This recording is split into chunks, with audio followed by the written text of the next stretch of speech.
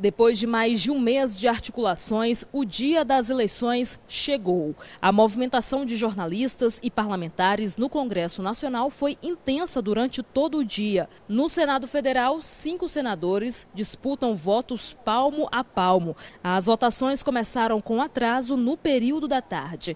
Na Câmara, oito deputados ainda seguem na disputa pela presidência da Casa. A votação está prevista para começar às sete da noite.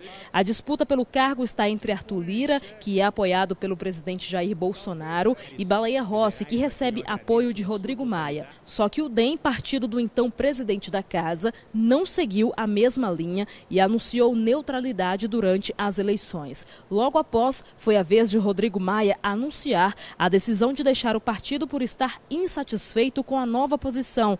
A decisão de Maia ainda não foi publicada oficialmente.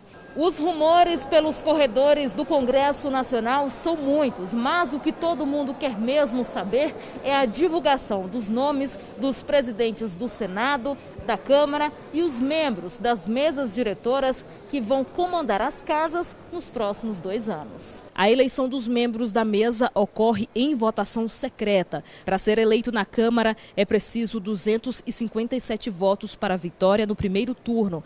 Isso se todos os deputados estiverem presentes.